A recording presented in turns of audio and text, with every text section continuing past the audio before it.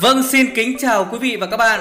Thưa quý vị và các bạn, Thủ tướng phê chuẩn ông Phan Văn Mãi giữ chức vụ Chủ tịch Ủy ban nhân dân thành phố Hồ Chí Minh.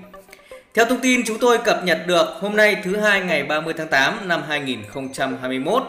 Thủ tướng Chính phủ đã ban hành quyết định số 1445 QĐ-TTG phê chuẩn kết quả bầu chức vụ Chủ tịch Ủy ban nhân dân thành phố Hồ Chí Minh nhiệm kỳ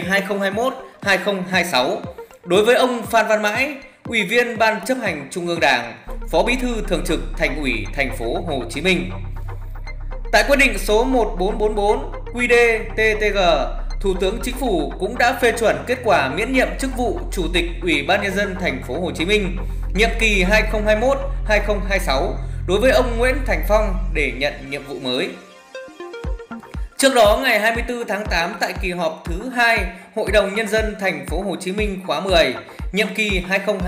2021-2026 với 89 trên 89 đại biểu có mặt tại kỳ họp đồng ý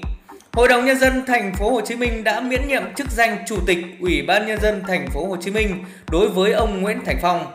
Ngay sau đó, Hội đồng nhân dân thành phố Hồ Chí Minh đã giới thiệu ông Phan Văn Mãi, Ủy viên Trung ương Đảng, Phó Bí thư Thường trực Thành ủy, trưởng đoàn đại biểu Quốc hội thành phố Hồ Chí Minh để các đại biểu bầu giữ chức vụ Chủ tịch Ủy ban nhân dân thành phố Hồ Chí Minh nhiệm kỳ 2021-2026 với 87 trên 89 đại biểu có mặt đồng ý. Ông Phan Văn Mãi, Ủy viên Trung ương Đảng, Phó Bí thư Thường trực Thành ủy Thành phố Hồ Chí Minh, được các đại biểu Hội đồng nhân dân thành phố Hồ Chí Minh nhất trí bầu giữ chức vụ Chủ tịch Ủy ban nhân dân thành phố Hồ Chí Minh nhiệm kỳ 2021-2026. Chủ tịch Ủy ban nhân dân thành phố Hồ Chí Minh Phan Văn Mãi sinh ngày 25 tháng 2 năm 1973 tại xã Thạch Phú Đông, huyện Rồng Trôm, tỉnh Bến Tre. Ủy viên Trung ương Đảng khóa 12, 13, đại biểu Quốc hội khóa 15.